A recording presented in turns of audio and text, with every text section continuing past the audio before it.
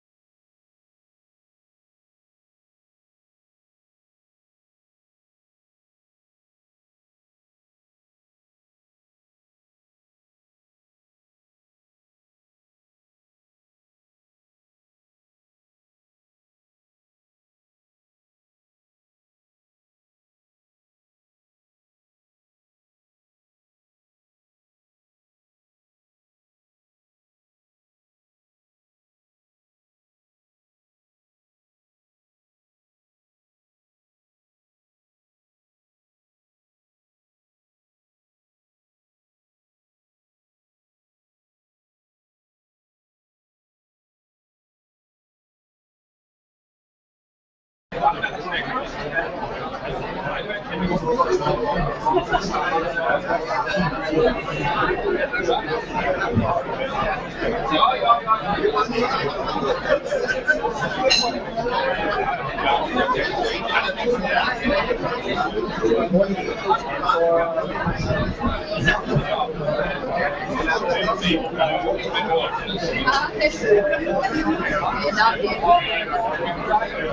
jeg Yeah.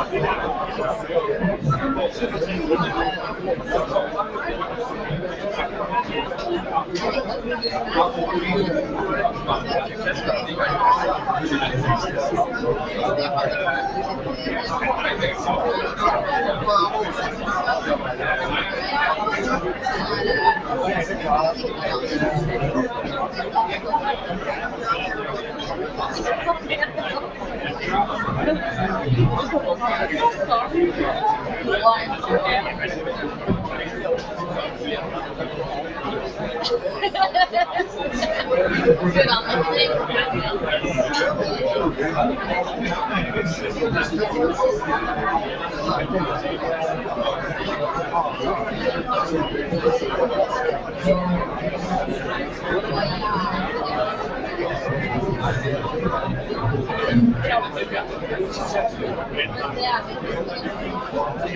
そう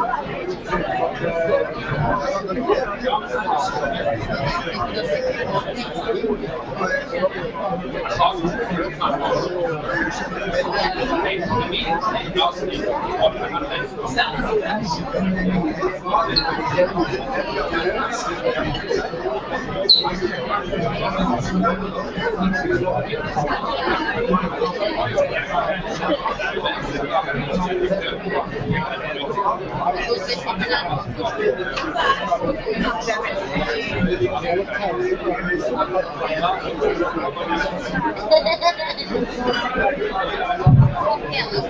ja, god morgen alle sammen.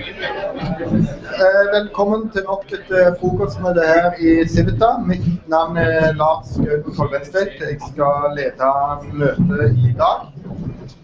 Det vi er samla her for å diskutere i dag, det er en ny bok som har eh, kommet, som heter 'Tilbake til politikken'. Hvordan Arbeiderpartiet igjen skal bli folkets parti. Eh, og med oss for å diskutere dette her, så har vi forfatteren av boken, eh, Aksel Bronn Sterri. Eh, vi har med oss stortingsrepresentant for Arbeiderpartiet, Hadia Tajik. Og statsråd for Høyre, Torbjørn Røe Isaksen. Eh, alle disse tre vil eh, få, starte med hver sin innledning på 10-15 minutter før vi åpner for spørsmål og debatt. vi slutter møtet klokka halv ti og ber folk om å ikke gå før halv ti, for det forstyrrer en del. Hvis dere ikke absolutt må, da. Men da burde dere sittet i nærheten av døra. Eh, eh, eh, I tillegg til at vi samles her, så streames dette møtet. Så velkommen til de som ser dette over internettet. Debatten kan eh, også følges på Twitter, og da er det hashtag Civita-frokost som brukes. Der går det òg an å stille spørsmål hvis man ikke ønsker å reise seg, eller hvis man ikke er her, men ser debatten over nett. Eh, når dere stiller spørsmål, så må dere reise dere, snakke høyt og formulere dere kort. Ja, nå skal ikke jeg stå her og jabbe mer. Da gir jeg ordet til forfatteren Aksel Brønn Sterri. Vær så god.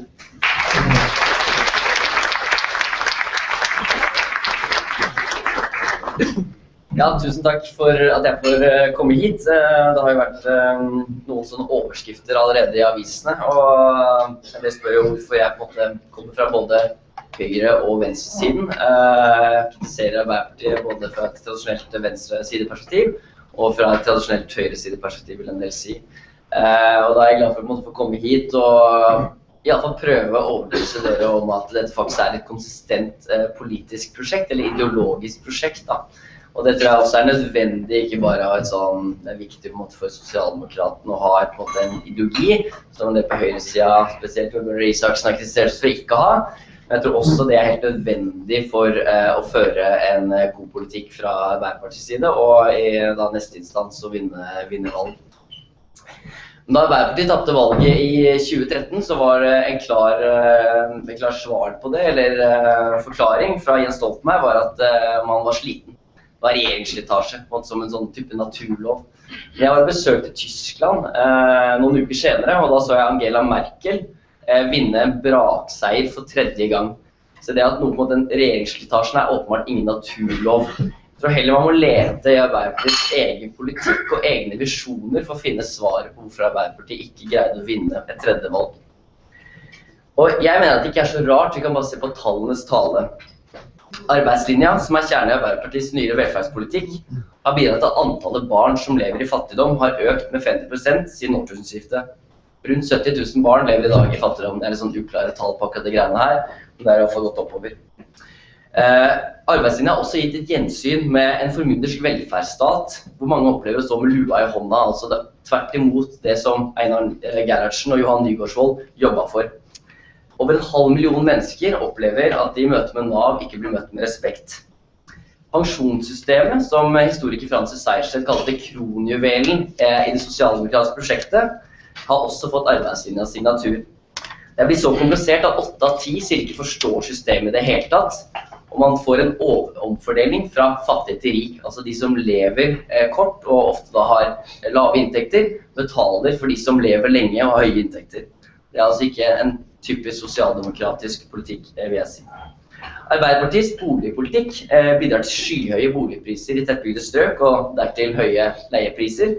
Eh, det gjør at mange setter seg i faretruende høy gjeld en av fire unge par i etableringsfasen har lån som er tre ganger høyere enn inntekten, og 170 000 husholdninger har gjeld som er fem ganger høyere. Og det som er viktig å huske på, er at Arbeiderpartiet eh, har stått for en politikk hvor man subsidierer eh, boligeiere med 55 milliarder kroner årlig. Man snakker jo ofte om at man sliter med penger til diverderende tiltak, men her altså gir man 45 milliarder kroner årlig, så kunne det gått til helt andre ting, hvorav mesteparten av de går til folk som allerede har ganske høye inntekter, for det er de som får de høye lånene. Eh, politikken som føres overfor noen av de svakeste i samfunnet vårt, eh, går på rettssikkerheten løs. I et strukturelt politiet sitt egne, eget sitat, i et strukturelt forebyggende tiltak mot menneskehandel. De sexarbeidere som ikke har brutt en eneste lov, kastet på gata, og de får til og med ikke beholde depositumpengene i noen situasjoner. Narkotikapolitikken forklarer hvorfor flere dør av overdose i Norge målt per innbygger enn i noen andre land i Europa. Eh, Norge er et av verdens beste land å bo i. Det er ikke ikke en misere dette her. Eh, likevel opplever veldig veldig mange avmakt i eget liv. De har ikke trygghet eller ressurser til å forme livet og hverdagen i tråd med sine egne drømmer. Hvordan kunne Arbeiderpartiet, som ifølge Jens Stoltenberg på valgvaken i 2013, eh, fortsatt skal være en drivkraft for rettferdighet og fellesskap? Hvordan kunne han la dette skje? Mitt esse i boka 'Tilbake til politikken' er at mye av årsaken ligger at Arbeiderpartiet mangler visjoner og dermed mangler retning for sitt politiske prosjekt. Den ideologiske debatten i partiet er nærmest forstummet, eh, og det sosialdemokratiske verdensbildet er ikke å se. Det er ikke dermed sagt at Arbeiderpartiet ikke har gjort riktige grep før.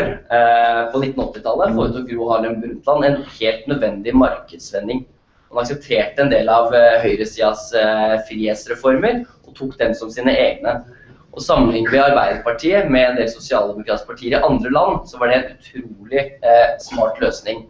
Man ser til Storbritannia, som senere er blitt kjent for eh, New Labour, tredje vei. De satt 18 år i opposisjon eh, siden de ikke greide å fornye seg. Så det var først med Tony Blair og nyvendingen at de greide å komme seg tilbake i, i, ved makta. Så lenge før eh, den tredje vei hadde altså Arbeiderpartiet tatt, Arbeiderpartiet tatt den nødvendige, nødvendige frihetsvendingen, eller markedsvendingen, eh, på 80-tallet. I 2005 foretok også de rød-grønne en helt nødvendig fellesskapsvending som fikk dem tilbake til makten i åtte år. Men begge var kortsiktige tilpasninger for å tekkes velgerne. Det de manglet, var en dyptgående ideologisk forankring, og det ble partiet straffet for i 2013, da de virket slitne og visjonsløse. Arbeiderpartiet må åpenbart være et troverdig styringsparti. Og det har Jens Stoltenberg åpenbart stått i spissen for, og det tror jeg vi skal berømme ham for. Men likevel, for et sosialdemokratisk parti er ikke det tilstrekkelig. Et sosialdemokratisk parti må berøre folks hjerter på en mer grunnleggende måte. Torbjørn Røe Isaksen har tidligere sagt at sosialdemokratiet er i ferd med å være en skapende kraft. At det var et historisk prosjekt som gikk sammen med oppbygging av velferdsstaten, og det er kun når du måtte ha penger på bok at det er vits i å være sosialdemokrat. Det har ikke Torbjørn fått nok kjeft for å si. Han har ikke blitt imøtegått av ledende Arbeiderpartipolitikere. For det stemmer ikke i det hele tatt. Men for å svare, for at Arbeiderpartiet skal svare på den utfordringen fra Torbjørn Røe Isaksen, så krever det en ny vending, en frihetsvending i Arbeiderpartiet. Framfor at partiet lar politikken styres av hva velgerne til enhver tid ønsker, vil denne frihetsvendingen kunne bygge på en helhetlig ideologi, og dermed virke som en progressiv kraft som former både samfunnet og de enkelte menneskene på samme tid. Og Kjernen i en slik frihetsvending er at folk skal kunne leve sitt liv som de vil, uten ytre og indre begrensninger. At frihet er målet, betyr imidlertid ikke at vi skal ha på en måte en fullstendig en markedisifisering av politikken, eller en fullstendig individualisering. Eh, man har ikke frihet hvis markedet eller familien tar opp for staten, eller tar over de begrensningene på våre liv. Et enkelt eksempel her er jo at hvis en uh, ung pakistansk jente blir tvunget til å gifte seg med en hun ikke har lyst til å gifte seg med, så er hun åpenbart ikke fri bare fordi staten ikke har tvunget henne. Så politikken må gi folk makt, mer makt til å leve det livet de selv ønsker. Og I filosofien så kaller man dette autonomi. Eh, de har typisk alltid et vanskelig ord for eh, selvsagte ting. Eh, men likevel kan det å gå til filosofien hjelpe oss å forstå egentlig akkurat hva vi mener med frihet.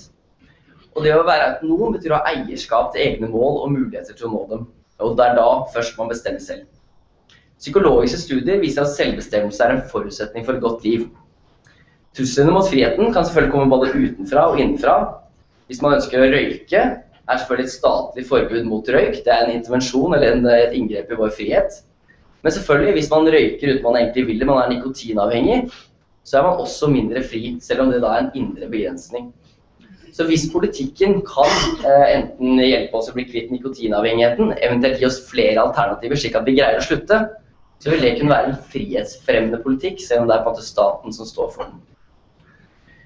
Og Sosialdemokratiet må alltid søke å frigjøre folk fra begrensninger de møter i sitt liv. På engelsk så har det et eh, begrep vi mangler på norsk, som er veldig godt, og det er empowerment. Det betyr å gi, folk ta, gi folk ressurser til selv å ta veloverveide valg. Frihet og selvbestemmelse har vært en rød tråd i Arbeiderpartiets historie fra stemmerettsutvidelsene og arbeidet for at folk skal få mer makt over egen arbeidshverdag, til kampen for selvbestemt abort. Likestilling mellom kvinner og menn har handlet om å gi kvinner mer makt over eget liv. Da den økonomiske krisen slo innover den vestlige verden på 1930-tallet, falt europeiske stater til diktaturet. I Norge ga Arbeiderpartiet de maktesløse en følelse av tilhørighet og medbestemmelse og troen på bedre framtid. Arbeiderpartiets partisekretær Raymond Johansen har oppsummert det slik. Opprøret ble rettet oppover og førte til utviklingen av velferdssamfunnet. Arbeiderpartiets ønske om velferd og arbeidsplasser til alle har gitt flere tilgang til økonomiske ressurser. Det har gjort det mulig for flere å leve det livet de ønsker. Å gi folk ressurser står imidlertid ikke i veien for å gi andre folk friheter, og det er typisk det jeg ofte hører når jeg har prøvd å fremme en del frihetsfremmende tiltak det er at jo, men den viktige frihetskampen, det er det som handler om omfordele økonomiske ressurser. Men det er ikke nødvendigvis motsetninger. Veldig sjelden er faktisk det motsetninger. Så her må man greie å egentlig utvide frihet på flere områder. Retten til selvbestemt abort og muligheten til å leve livet med den man elsker, selv en med samme kjønn, ga mer frihet til folk. Det gjorde også markedsvending på 1980-tallet. Flere muligheter til å kjøpe og selge bolig, og lengre åpningstider i butikk, som Arbeiderpartiet etter hvert kom til å omfavne som egen politikk, har gitt folk mer frihet. Om Arbeiderpartiet tar på alvor den sosialdemokratiske frihetsideologien, må den settes i førersetet for politikkutformingen. Konkret betyr det mindre innblanding i folks private liv. Folk må få lov til å ta dumme valg, selv om de ønsker det. Om de selv ønsker det. Så folk er så dumme, dumme skal selvfølgelig få lov til det. Samtidig betyr det at man tar på alvor at velferdsstaten ikke er ferdig med en utjevnende kraft. Dagens pensjonssystem favoriserer som sagt de velbemidlede. Et sosialdemokratisk pensjonssystem er nødt til å være et fellesskapsprosjekt hvor vi i større grad betaler for hverandres pensjon. Og at de av oss som er mindre heldige, kan pensjonere seg når de ikke holder lenger. Arbeiderpartiet kan til tider glemme at staten kan være den mest dominerende makten av dem alle. Den innsikten må bestemme utformingen på velferdsstaten. Framfor å la arbeidslinja dominere velferdsstaten, slik den har gjort siden Gro Brundtland innførte begrepet i 1992, må Johan Nygaardsvold og Einar Gerhardsen mantra om at den enkelte ikke skal stå med lua i hånda i møte med Nav, forlede vei. Tillit må gjeninnføres i velferdsstaten. En 50% økning av barnetrygden til 1500 kroner i måneden vil flytte 45 000 mennesker over fattigdomsgrensa. Med et arbeidsliv som er mer omskiftende og dynamisk, er en mer sjenerøs erstatning ved arbeidsledighet nødvendig. I dag får man 60% av inntekten sin hvis du mister jobben og blir sparka fra dag én, kompensert. Men hvis du blir syk, så får du 100% Den avstanden mangler begrunnelse. En frihetsvending i Arbeiderpartiet, Arbeiderpartiets politikk forutsetter at man setter enkeltmennesket i sentrum, slik Brundtland tok til orde for under markedsvendingen på 1980-tallet. Slik sett er det en individualisering av politikkens mål. Den britiske historikeren og sosialdemokraten Tony Jutt eh, er redd for at individualiseringen reduserer støtten til velferdsstaten og sosialdemokratiet. Og veldig mange eh, i Arbeiderpartiet i dag ser en motsetning eh, når man snakker om individualisering. Hva da med fellesskapet? Men jeg mener det er en forhastet konklusjon eller en unødvendig sammenblanding. For gode fellesskapsbånd skapes ikke av avhengighet til velferdsstaten eller andre. At kvinner er blitt mer selvstendige, har ikke gått på bekostning av familien eller sivilsamfunnet. En rekke studier viser at vi føler oss mer knyttet til de som støtter selvbestemmelsen vår. En kvinne som ikke har egen inntekt, er selvfølgelig økonomisk avhengig og knyttet til sin mann. Men følelsen av samhold og fellesskap spirer ikke gjennom tvungen avhengighet. Den kommer av et likeverdig og egalitært forhold hvor begge parter blomstrer. Men mer frihet vil skape det rausere samfunn. Siden Norge er et av de mest individualistiske landene i verden, er både tilliten vi har til andre og støtten til velferdsstaten høy sammenlignet med andre land. Mer frihet har også positive økonomiske konsekvenser. Et fritt samfunn skaper mer velstand og øker sjansen for at folk kan leve livet sitt som de vil. Når folk opplever at de er trygge, kan de åpne seg for frihandel teknologisk utvikling og våre nye landsmenn. Frihet, likhet og fellesskap går slik hånd i hånd. Konsekvensen av Arbeiderpartiets politikk i over 120 år er at vi i dag lever i et av de beste og frieste samfunn i verden. Men skal partiet vinne makten tilbake og forbli Norges viktigste folkeparti, må det tørre å la ideologien styre. Skal Arbeiderpartiet fortsatt vinne folkets hjerter, må friheten være ledestjernen. Takk.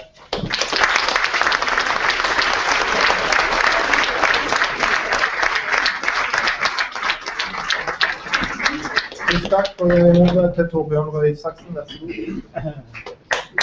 Tusen takk. Eh, I løpet av de 24 timene Kjære alle sammen, god, god morgen uh, først. Uh, I løpet av de 24 timene som vi er inne i nå, så har plutselig så har tre, så har tre arrangementer jeg skal diskutere boka til uh, Aksel Brånen Sverige.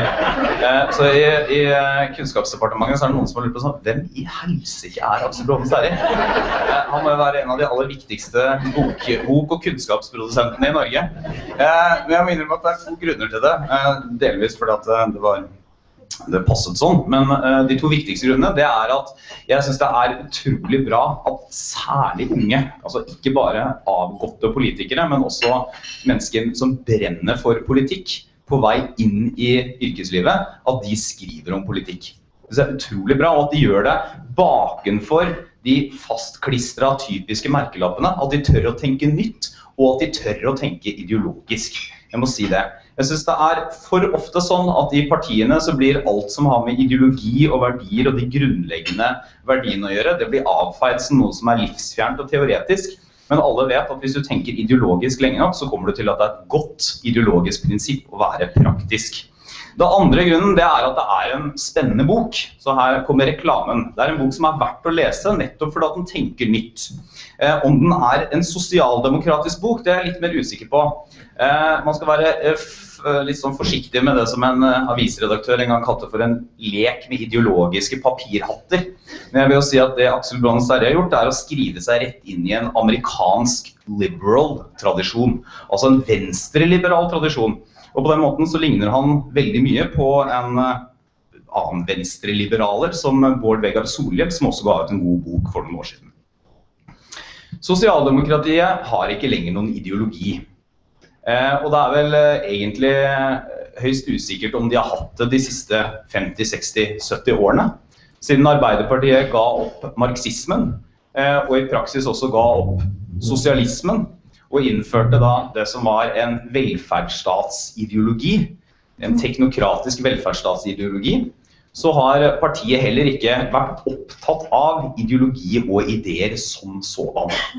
Og det er eh, på mange måter Arbeiderpartiets store svakhet, men det er også Arbeiderpartiets store styrke. Og det er veldig forståelig basert på partiets egen historie.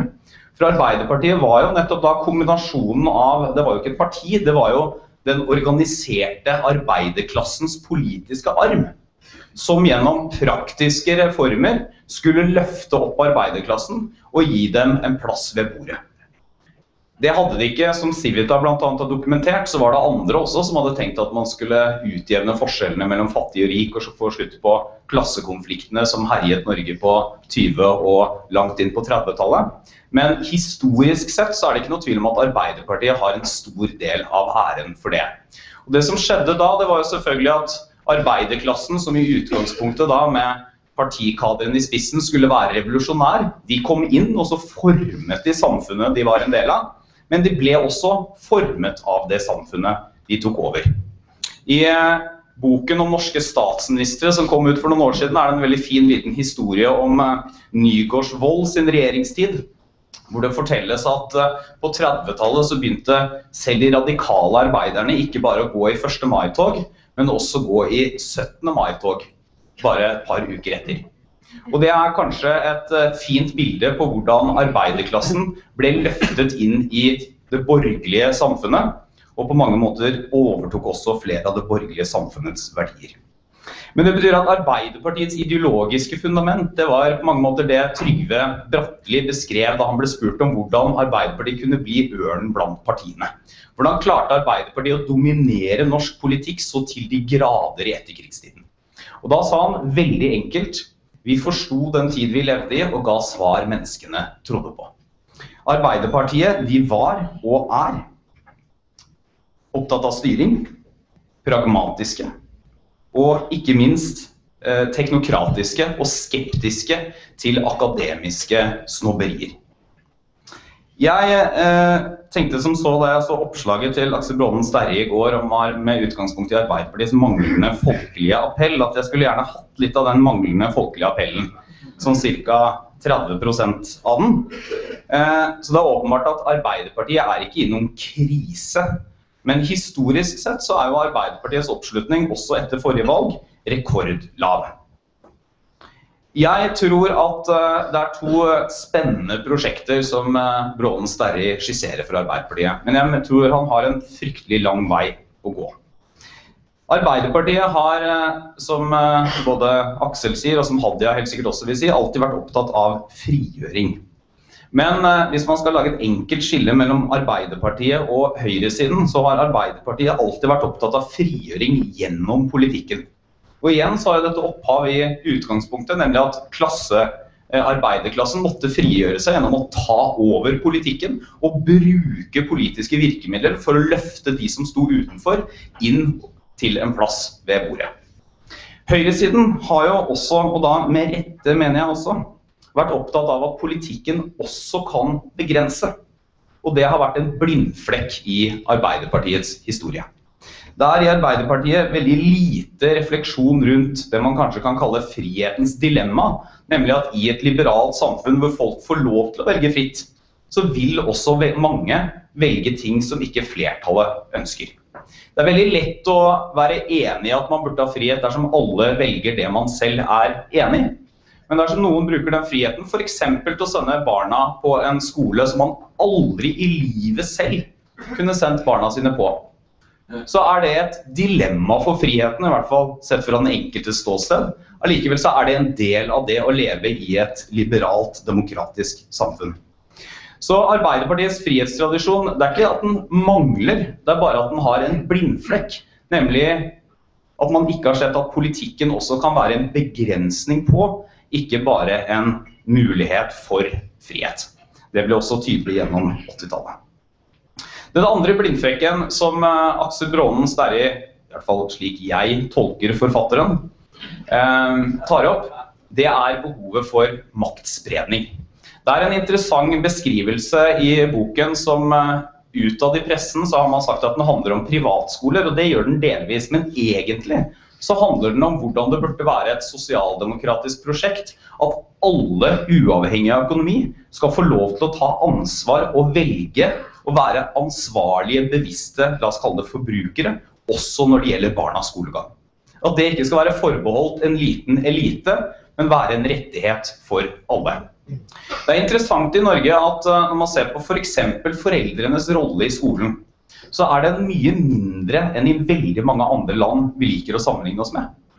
Eh, nå mener ikke jeg at USA er noe ideal på, på mange områder, men akkurat på foreldrenes engasjement i mange skoler, så er det påfallende hvor sterkt og tydelig og hvor ansvarliggjorte foreldre er i USA og hvor lite og hvor svak den tradisjonen står i Norge. Det det egentlig handler om, er jo ikke bare markedstenkning eller valgfrihet som en sånn ferniss. Det handler om maktspredning. Altså hvor ligger makten til å ta beslutningene? Da spiller selvfølgelig politikken en rolle, for politikken kan utjevne forskjellene. Altså gjøre at alle får en reell mulighet. Samtidig må jo da politikerne også godta at maktspredning betyr at noen får lov til å velge det som ikke alltid politikerne ønsker, og det kanskje til og med kan få uforutsette konsekvenser. Men denne maktspredningstankegangen, enten man ser på statlig eierskap, enten man ser på problematisering av politisk oppdragsforskning, eller man ser på diskusjonen om statens store rolle generelt i Norge, så har ideen om maktspredning hatt veldig liten lite gjennomslagskraft i Arbeiderpartiet. Eh, jeg vil selvfølgelig håpe at det får større gjennomslagskraft. Det er åpenbart sånn at Arbeiderpartiet er mer liberalt i dag enn for 30-40 år siden. Men allikevel så tror jeg disse to tingene, altså mangelen på å se at politikk av og til kan være begrensende, og den manglende tradisjonen for å reflektere rundt maktspredning, kan bli de store hindrene for eh, Aksel Bronnen i sitt prosjekt. Eh, og med dette mener jeg ikke å si at høyresiden automatisk er bedre til alt dette. Høyresiden har jo egne blindflekker, men det er da et annet frokostmøte. Tony Jutt, som eh, Aksel også refererer til, han skrev et essay, en engelsk historiker som døde. Fantastisk, eh, fantastisk å lese om. Han skrev et essay som heter 'What is living what is, and what is dead in social democracy'. Eh, og etter min mening så konkluderer han med at det som lever i sosialdemokratiet som ideologi, det er nettopp tanken om at man trenger en stat som utjevner de mest dramatiske forskjellene, og som gir på en eller annen måte mer jevnbyrdige livsbetingelser for alle. Det betyr at uh, klassekampen er borte, sosialismen er borte, sosialdemokratiet slik vi kjente det, det er også borte. Arbeiderpartiet står igjen som et pragmatisk, avideologisert, sentrumsnært og teknokratisk styringsparti. Arbeiderpartiet har kart, men de har ikke kompass. Det er eh, Arbeiderpartiets aller største svakhet, men det er også Arbeiderpartiets aller største styrke. Takk. takk.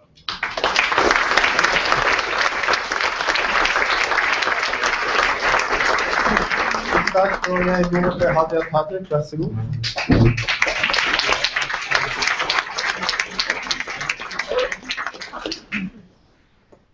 Tusen takk for eh, invitasjonen eh, til dette arrangementet. Jeg syns det er helt strålende at sosialdemokratiet er satt på dagsorden. Og når det òg er så mange som er til stede, så må jo det nesten bety at sosialdemokratiet er litt in fashion òg. Siden folk har lyst til å være med på å diskutere det. Så er jeg nok mer optimistisk eh, på vegne av sosialdemokratiet enn det Torbjørn gir uttrykk for. Det virker som han mener at sosialdemokratiet og vår ideologiske tenkning er totalt dødt. Eh, at vi ikke har en ideologi. Men jeg vil minne om at selv om det jo ikke gir store avisoppslag når Arbeiderpartiet har meningsmålinger på omkring 35% så er jo grunnen til at det ikke gir store avisoppslag, nettopp det at det at vi har den type oppslutning, er et uttrykk for normalen i Arbeiderpartiet. Vis meg et hvilket som helst annet sosialdemokratisk parti i Europa der man ser den type oppslutning. De fins ikke. Jeg syns det er veldig bra at det nå eh, foreligger en ny bok om eh, sosialdemokratiet, som er kritisk, som er grundig, som er drøftende. Eh, det krever ganske mye mot å skrive den type bok, og det krever òg ikke minst at man setter seg ned og bruker mye tid på det. Og jeg syns det er en veldig spennende ung stemme som står for denne boken. Og nå har Torbjørn og jeg blitt så gamle at vi kan kalle andre for unge stemmer. Og det er veldig mye bra i den boka. Og jeg liker ikke minst at han da inviterer til diskusjon om hvordan Arbeiderpartiet igjen kan bli et 40 %-parti. Det er ikke andre partier som har den type velgerpotensial. Så har jeg tenkt å ta boka på alvor. Og det å ta eh, en sånn bok på alvor, det innebærer jo òg at man yter den litt motstand.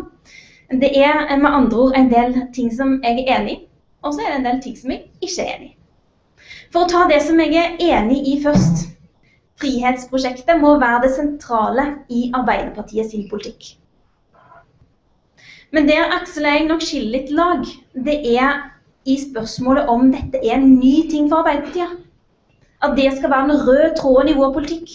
Friheten til hver enkelt menneske. Det mener jeg at det ikke er. Jeg mener at det er hele utgangspunktet for at det finnes et Arbeiderparti i dag. For det som var en arbeiderbevegelse, det handler om altså I utgangspunktet, i starten, så handla det om friheten fra utnyttelse av arbeidsgiveren. Det handla om friheten til å kunne leve, ikke bare friheten til å overleve. Og i alle de årene som jeg har vært aktiv i Arbeiderpartiet, så har det vært dønn umulig å være på et eneste lokallagsmøte, uansett hvor få personer som var til stede på det lokallagsmøtet, eh, og ha en politisk diskusjon uten at frihetsbegrepet var en sentral del av den diskusjonen. Enten fordi det var de menige medlemmene som sjøl tok det opp og sa hvordan skal vi løfte disse debattene, eller fordi innlederen sjøl la det fram som et av de viktige retningene. Men det er en viktig diskusjon, og det er en så viktig diskusjon at jeg mener at vi godt kan ta den diskusjonen mye oftere. Og vi kan ta den med mange flere enn det vi er vant til. Altså, Vi bør løfte arbeiderbevegelsens diskusjoner ut av ikke bare vårt eget parti, men inn i den store politiske offentlige debatten. Og det opplever jeg at uh, Aksel bidrar til. Jeg vil takke Torbjørn for at han òg bidrar til det. Og Ofte så sier vi som er sosialdemokrater at vi vil sikre frihet til enkeltmennesket gjennom sterke fellesskap. Så Det er en vanlig ting man hører Arbeiderpartifolk si. Men hva betyr så det? Jeg mener at man kan forklare det i to punkter. Det ene punktet det er at alle har ansvaret for å forme sine egne liv. Det er kravet vi stiller. Det andre er at fellesskapet har ansvar for å forme et samfunn der det er mulig. Og det er kravet som vi sjøl må leve opp til. Med andre ord så er det da en gjensidig forventning som alle mennesker med rimelighet kan ha overfor hverandre, og ikke minst med rimelighet òg kan ha overfor sine politikere. Einar Gerhardsen, som jo har blitt sitert eh, tidligere i dag, han kalte jo dette for 'gjør din plikt, krev din rett'. Og han sa det i den rekkefølgen. Plikter først, rettigheter etterpå. Og det å ha forventningen om at alle bidrar, det skulle bare mangle. Alle kan bidra, alle trengs uavhengig av hvem de er, hvilken bakgrunn de har, hvilke forutsetninger de har. Alle har noe de kan bidra med. Men i nettopp dette så ligger òg kjernen. Det er et balansepunkt.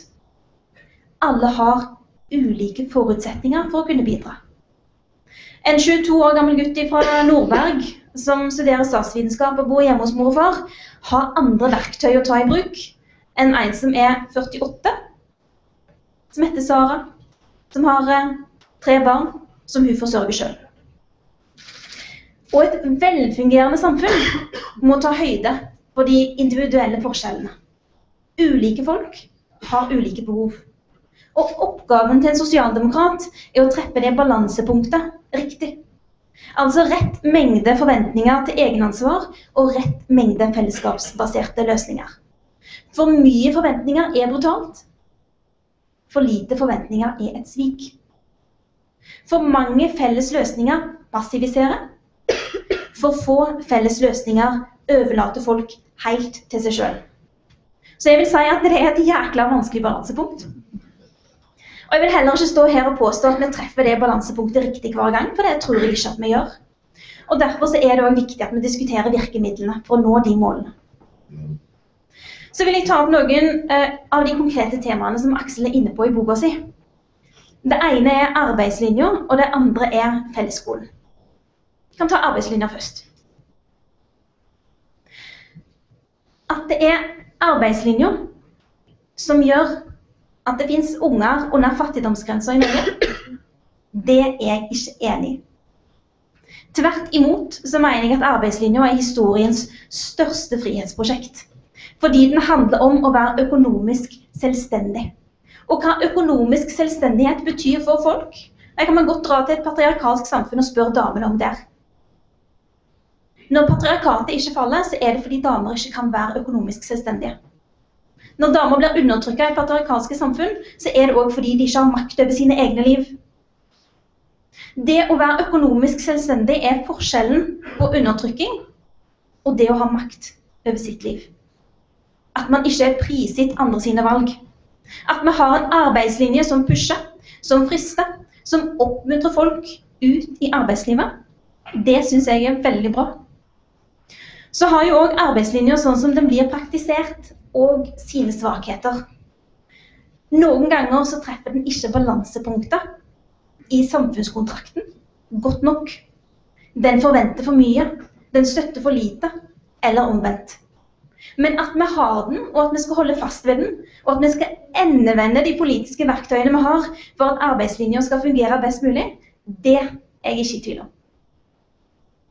Så har jeg fått kritikk for uh, av Aksel, uh, både i avisen, men uh, i boka, for å ville erstatte en del kontantytelser med tjenester. Og for å ville koble på plikter på en del av kontantytelsene som vi har i dag. Og Det er jo en, det privilegiet man har når man skal diskutere ideologi og praktiske løsninger. Eh, at man òg kan eh, altså la være å ta med seg en del av den bagasjen som vi mener at den diskusjonen er en del av. F.eks. at vi er en del av EØS-avtalen. F.eks.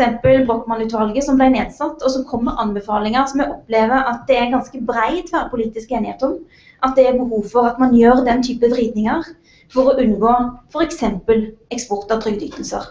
Det mener jeg bør være en viktig del av drøftingen òg når man diskuterer hvilke virkemidler vi skal bruke i Norge i dag.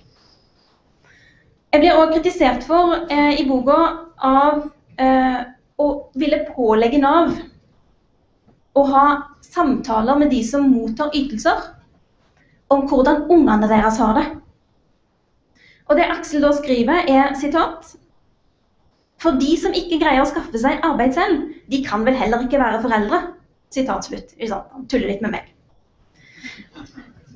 Men det er jo òg det som er poenget. Altså, det, det, altså, det, er ikke det som er selve poenget i forslaget. Er, poenget er jo at de som har kontakt med Nav, mange av de har jo kontakt med Nav fordi de strever med noe. En del av de strever jo bare med å få seg arbeid, og når de får seg arbeid, så løser det seg. Men en del av de strever med flere ting enn arbeidsledighet. En del av de strever med rus. En del av de strever med psykiatri.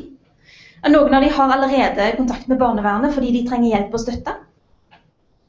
Og For å forfølge bare et konkret eksempel blant, eh, Hvis man bare tar f.eks. uføre, så er det sånn at 30% av de som i dag er erklært uføre, de har så store psykiske vansker at de ikke kan stå i arbeidslivet.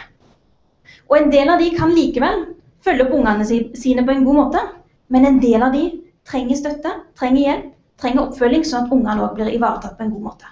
Det samme ser man innenfor en del av de andre ytelsene, sosialhjelp osv. osv. Og det er det jeg mener er viktig. At Nav i de situasjonene kan være en støtte for den familien. Se de ungene. Bidra med den hjelpen som, eh, som trengs i den situasjonen. Og så vil jeg gjerne dele en liten hemmelighet. Hvis dere lover ikke å si det til noen. For noen år siden så leda jeg velferdsutvalget til Arbeiderpartiet. Det, det, var ikke det som var hemmeligheten, forresten. Men jeg leda eh, velferdsutvalget i Arbeiderpartiet i arbeidet med partiprogrammet. Eh, og når vi jobba med eh, de utkastene, så lekte vi litt med en tanke knytta til arbeidslinja. Og det handla om at arbeidslinja sjøl i all sin prakt har sine mangler. Og et av de manglene det er at arbeidslinja ikke tar tilstrekkelig høyde for at alle er hele mennesker. At ingen vare er jobb.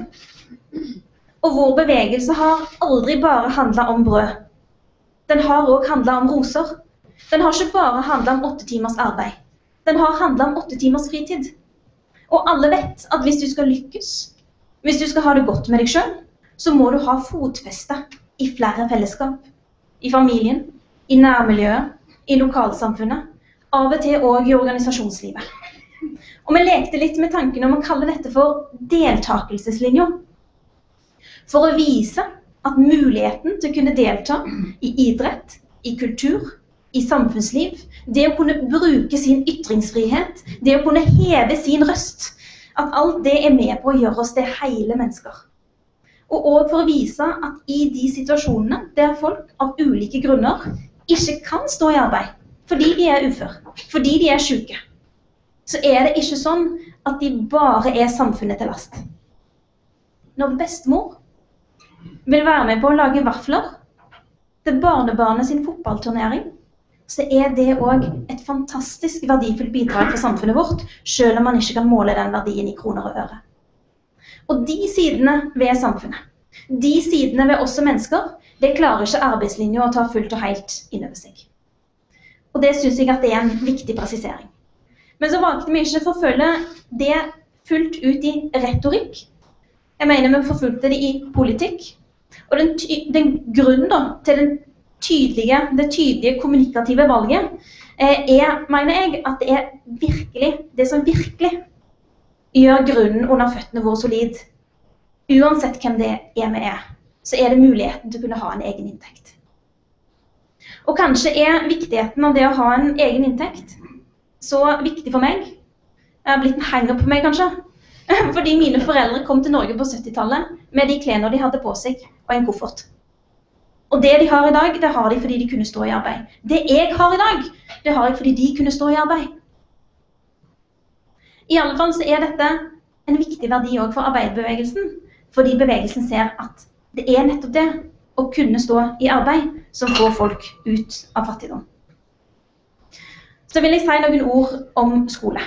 Og her, eh, og her så skiller Aksel og jeg eh, lag på noen viktige punkter. I boka så åpner man for flere private skoler. Og hovedargumentet er, sånn som jeg forstår det, at det styrker folks selvbestemmelse. Eh, og dels òg at det kan være med på å spille den offentlige skolen god ved at den har flere å konkurrere med. Og det er vel ingen hemmelighet at jeg ikke er helt enig i det. Jeg mener at blant annet så skiller man ikke her mellom de ulike typene konkurranse det her er snakk om. Man kan i hvert fall dele de konkurransetypene i tre. Den ene måten å konkurrere på, det er det som handler om pedagogikk. Og det er f.eks. det som skoler som Montessori, skoler som Steinerskolen er med på å bidra til. Det er jeg og Arbeiderpartiet veldig positive til. Mer av det. De konkurrerer med den offentlige skolen på innhold. De har vært med på å spille den offentlige skolen god, og Et eksempel på det er jo Montessori-skolens vektlegging eh, av eh, det å tilpasse undervisningen. Det er jo òg noe som den offentlige skolen har tatt mer og mer til seg. Den andre typen konkurranse som de private skolene kan stå for, det går på fellesskap. Altså at noen skoler kan tilby andre typer fellesskap. F.eks. så kan de religiøst motiverte skolene gjøre det. De kan tilby kristne, jødiske, muslimske fellesskap. På sitt beste så har en del sånne skoler som i utgangspunktet var, hadde et religiøst utgangspunkt, eh, i dag klart å få en ganske brei elevmasse. Det er en brei sammensetning av de som går på skolene.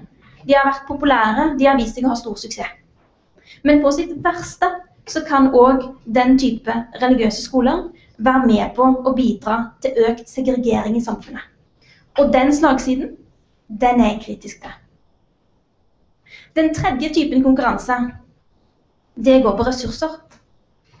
Og det er der jeg mener at de private skolene, som da vi i Arbeiderpartiet ofte kaller for private kommersielle, og som da Torbjørn ville kalt for friskoler, konkurrerer på. Ikke på innhold, sånn som Montessori gjør, ikke på fellesskap, sånn som de religiøst motiverte skolene gjør, men på ressurser. Og Det mener jeg er den minst legitime formen for konkurranse. Og det er òg den med minst forutsetninger for å spille den offentlige skolen god.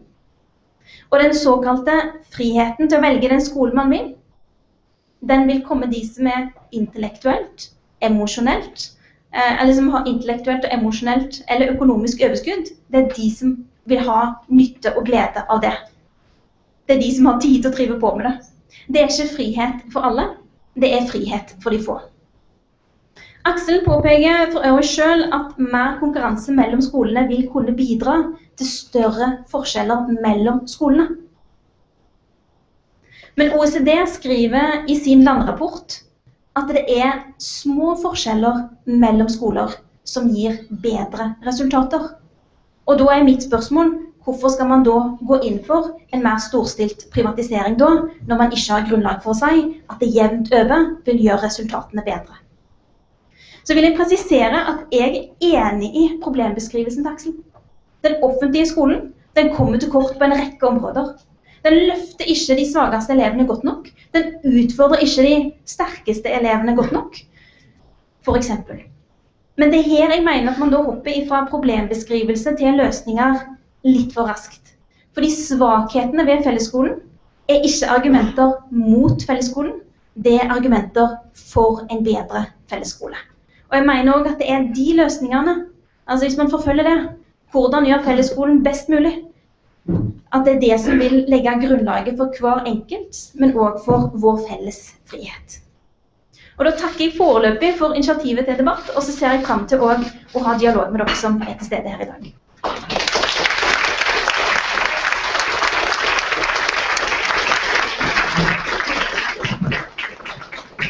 Tusen takk. Da åpner jeg for, uh, for spørsmål fra salen. Men uh, før jeg eh, slipper salen til med en gang, så vil jeg gjerne at du, Aksel, eh, svarer litt på de særlig de utfordringene eller de svarene du får fra Tajik på dette med, med arbeidslinja. Du er jo veldig opptatt av eh, frihet for enkeltmennesket i boka, men er ikke dette med, med frihet og ansvar henger jo nøye sammen. og Er det ikke viktig å gi mennesker et et insentiv for å komme seg i arbeid, og ikke arbeid frigjørende for folk. Altså, hvorfor er denne eh, arbeidslinja så problematisk for deg? Ja, eh, takk for veldig gode kommentarer. Eh, til arbeidslinja først. Eh, jeg tror nok, som jeg skriver også i boka, så bør det åpenbart være Arbeiderpartiets prioritet nummer én Eh, og sørge for at folk ikke skaper arbeidsplassene, men eh, at man har mål om at eh, alle får arbeid og har ressursene til å kunne arbeide. Og det har det jo alltid vært. Altså Den arbeidslinja som jeg kritiserer, ble innført i 1992. Og mener Haja Tajik at det ikke var slik at folk var selvstendige, hadde egen inntekt, kunne livnære seg selv før den tida. Det er i så fall merkelig, for det er like stor andel som er utenfor arbeidslivet i dag, som det var når den arbeidslinja ble innført. Det jeg kritiserer, er at man, når man innfører en arbeidslinje som går ut på å flytte makt fra den enkelte Når jeg kommer på Nav og har mista jobben min og ber om hjelp, så kunne man før si greit, jeg har en lovbestemt rettighet, og det var hele poenget Johan Nygaardsvold og Einar Gerhardsen si. Jeg skal ikke stå her med lua i hånda, jeg trenger ikke be om hjelp, jeg har krav på hjelp. Mens når man innfører en hel rekke ting som f.eks. sånn Ok, Du skal søke på disse og disse jobbene, du må være tilgjengelig for alle jobber i hele landet. og. Det høres, helt, det høres veldig veldig fint ut. Åpenbart bør man stille krav til de som kommer på Nav. Men det man egentlig skaper der, er rom for maktutøvelse. Når de enkelte står veldig i en svak situasjon, du har mista jobben din og du trenger hjelp, så har du plutselig flytta makten over til byråkratiet. Og det er det jeg egentlig syns er symptomatisk med det som Haja Tajik sier, er jo at man egentlig antar at Tajik kan være der, politikerne, våre representanter, kan være der i den situasjonen. Men det er det ikke. Bør ikke byråkratiet ha litt makt? Altså, det er jo vi som er skattebetalere som finansierer dette. Bør ikke byråkraten ha litt makt overfor den eh, Nav-mottakeren og kunne stille litt krav? Hva er det som er så galt med at byråkratiet har litt makt? Altså jeg tenker at Det viktigste er når du står i en svak situasjon, er at du har forutsigbare rammer. Du kan komme og si greit, ikke nødvendigvis få 100% av inntekten din kompensert, og det tar jeg heller ikke til orde for. Det kan du hvis du er syk. Men her er det snakk om greit, du kan få 70 av inntekten din kompensert, og det skal du kunne heve uten at det blir etterspurt hm, har du egentlig gjort nok for å få det tilbake. Så er det der, det er det, maktutøvelsen der som er kjempeproblematisk. Og det har jo tidligere vært en høyresida sin også en kampsak, eh, egentlig. Men likevel så har man også kasta seg på denne arbeidslinjedebatten. Og vi ser egentlig, Hvis vi går på skole, så ser vi egentlig det samme momentet der. For det er klart at vi ønsker en best mulig skole for alle. Det er ingen tvil om. Men sannheten er jo at politikerne er ikke der når læreren møter eleven eller eleven møter andre elever. Hvis man da kommer på en skole og man ikke blir sett, eller man har en ubehagelig opplevelse, så er det klart at det man kan gjøre da, er å gå til læreren og si 'jeg krever bedre behandling'. Eventuelt kan foreldrene komme og si 'jeg krever bedre behandling, jeg ønsker å bli behandla annerledes'. Men det er jo nettopp en intellektuell lek som de som har høyere utdanning osv. er gode på. Det er jo en mye enklere ting å gjøre å si 'greit, hvis ikke dere behandler meg bra, så tar jeg med meg de pengene mine og går'. Og det er det jeg egentlig sier, at for å styrke den enkelte, den som absolutt er svakest i den situasjonen her, eleven, eller den som da har mista jobben sin, den skal kunne stå sterkere og dermed kunne ta med pengene sine i det siste tilfellet. Den finansieringen som staten har, ta med den til en annen skole og dermed få bedre behandling der. Ja, eh, du, eh, I innledningen Aksel, så er du inne på dette med at eh, i sykelønn så har vi 100% mens arbeidsledighetstrygd er omkring to tredjedeler. Hvem er det som skal jekke seg? Skal de arbeidsledige bare få mer, eller skal vi omfordele fra sykelønn til arbeidsledighetstrygd? Jeg unngikk det spørsmålet i boka. Eh, Hvorfor det? Nei, altså jeg, jeg, er helt åpen, er helt åpen for Jeg syns det, det, er litt vanskelig, det med sykelønn er litt vanskelig. Det ser ut til vi har et uh, for høyt uh, langsiktig sykefravær. Uh, det jeg ser for meg som kunne vært en avveining her, er nettopp at man jekker opp arbeidslivstrygden noe. Så kan man selvfølgelig vurdere en, noe kutt i sykelønn også. Det ville vært åpen for. Iallfall etter en viss en tid. Så man kunne hatt 100 med en gang, f.eks. og så kunne den gått nedover etter hvert hvis det viser seg å fungere. Så, og der, ja. Da har eh, Torbjørn tegnet seg for en replikk, og så Hadia. Vær så god, Torbjørn. Ja, um, jeg, tenkte, jeg, jeg, tenkte, jeg skulle si litt om dette med arbeidslinja, for der er jeg, der er jeg veldig uenig med, med, Aksel. Og veldig enig med Hadia. Jeg mener at det er veldig bra også at, det er sånn i norsk politikk. for at Eh, og det, det, ideologiske eller filosofiske utgangspunktet er jeg pleier, jeg pleier, ikke å snakke om samfunnskontrakten, men jeg mener at dette med 'gjør din plikt, krev din rett', eh, det at du har noen plikter som en medborger i et samfunn, det tilsier også at når du skal motta offentlige ytelser eh, fordi du ikke kan jobbe, så pålegger det, deg noen, pålegger det deg noen plikter. Men så er det det praktiske spørsmålet. Det er at jeg mener at Aksel er for materialistisk i sin eh, analyse av fattigdomsproblemene. Eh, det er, for å si det litt spissformulert. Økonomisk fattigdom det er i mange tilfeller et symptom, men ikke en årsak. I hvert fall ikke den eneste årsaken. Med andre ord, det er fullt mulig å gi folk mer penger og gjøre dem mer fattige på sikt. Eh, og som andre ord, Årsakene til sosial marginalisering i Norge det er ofte eh, det er eh, utenforskap, psykiske problemer, eh, at du ikke er rystet for arbeidslivet. Det kan være dårlig arbeidsmarked, for den saks skyld. Det å øke ytelsene i seg selv det vil kanskje gjøre at folk på kort sikt får mer å rutte med, eller det gjør det jo helt åpenbart.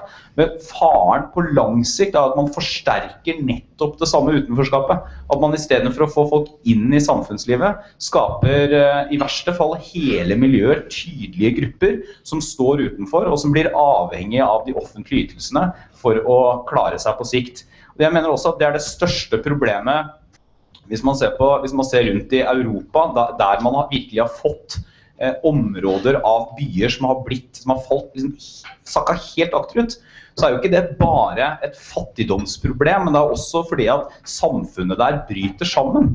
Eh, det er et samfunn som får, det er fremmedgjort mot storsamfunnet hvor ikke bare staten har rygget unna, men også sivile organisasjoner, eh, frivillige organisasjoner, religiøse organisasjoner er kanskje ofte de eneste som er der. Men også det sivile samfunnet bryter sammen.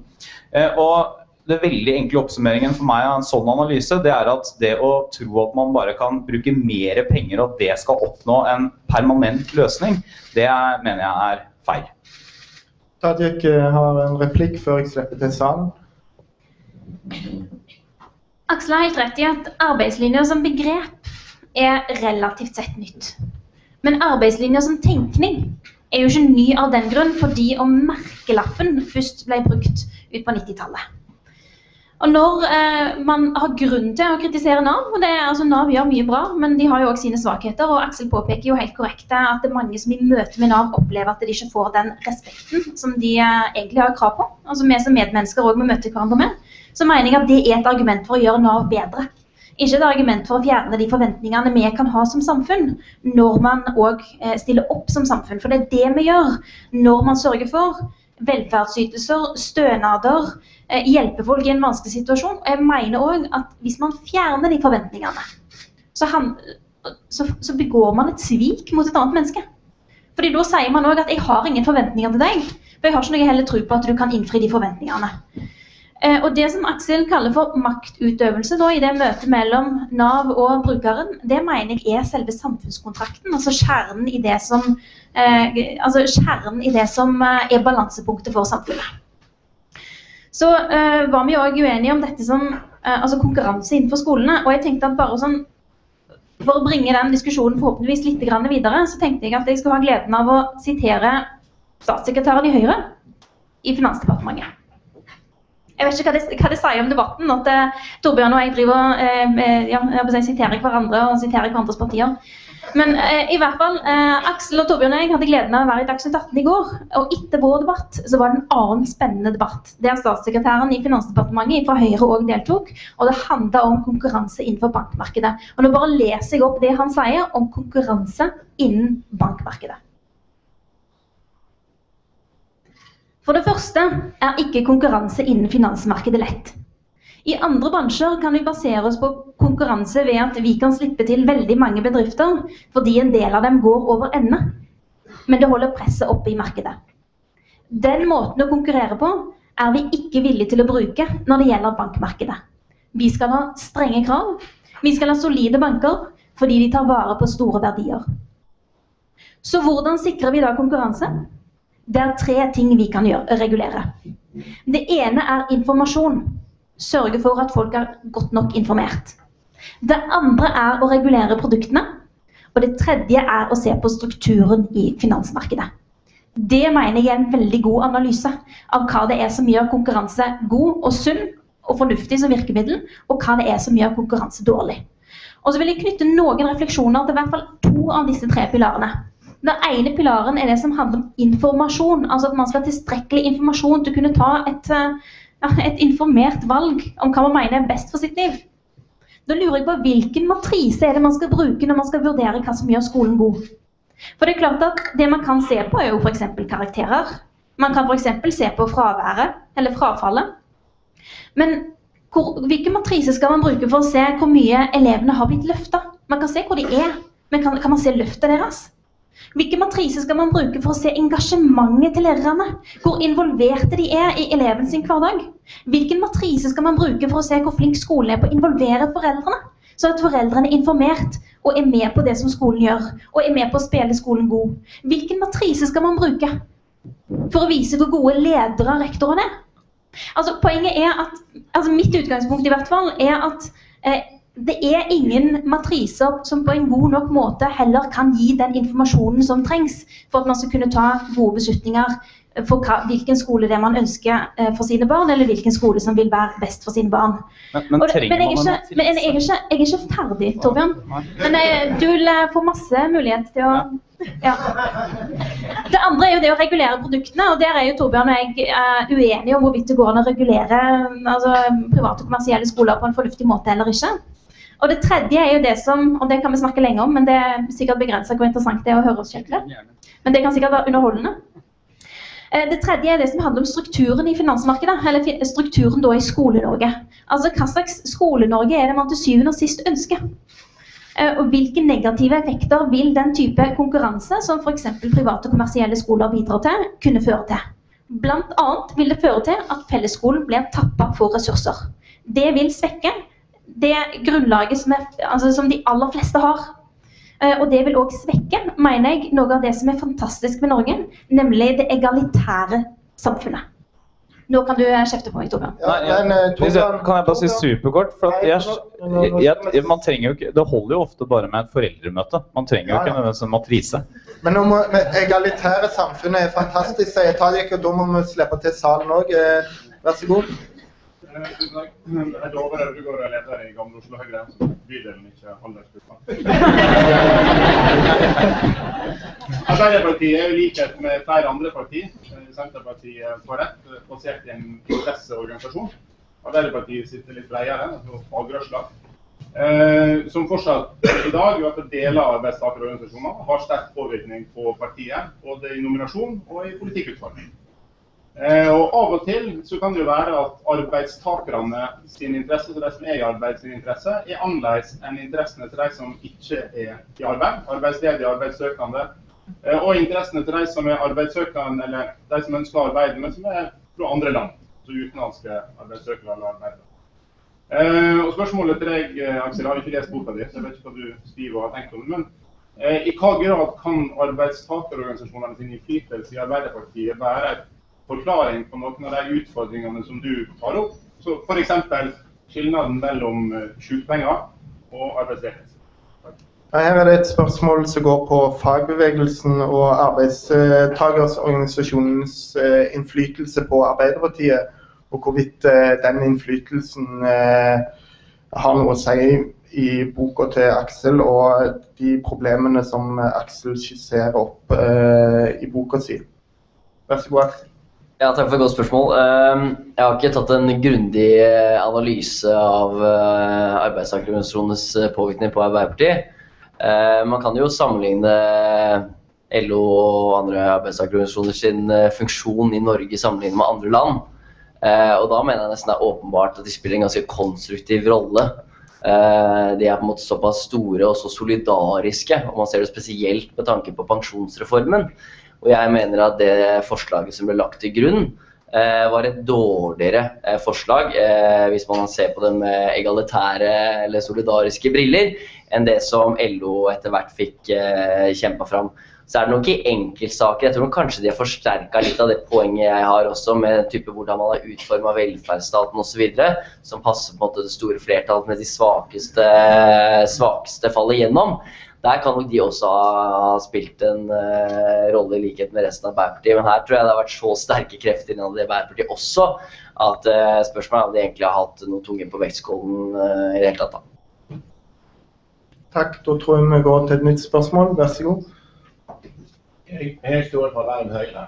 Når jeg hørte Aksel sitt innlegg, så tenkte jeg på den lignelsen som Jan P. Syse hadde de har stjålet våre klær når vi var ute og badet. Jeg hørte ditt innlegg, og veldig inntrykk av dette er jo den moderne liberalismens sine grunnverdier. Mitt spørsmål er vil Arbeiderpartiet kunne reformere seg uten egentlig å låne kompasset som Høyre har, som de selv ikke har? Ja, Det var et spørsmål om, eh, om hvorvidt eh, Arbeiderpartiet bare ute, eller Aksel her i sitt innlegg bare ute å stjele Høyre sine klær, og om eh, Arbeiderpartiet egentlig har noen mulighet til å ta over det kompasset som da angivelig Høyre har. Eh, det er jo et spørsmål som går til hele panelet, egentlig. Kan bare begynne med Aksel og gå bortover. Jeg forstår at det kan bli sett på den uh, måten, men uh, jeg vil jo igjen sammenligne Norge med andre land. Og jeg tror nok uh, hvis en del sosialdemokratiske partier hadde sett på Høyre ja, altså, sosialdemokratiske partier i resten av Europa har sett på hvordan Høyre styrer politikken i Norge, så ville de tenkt hm, dette er et godt sosialdemokratisk parti.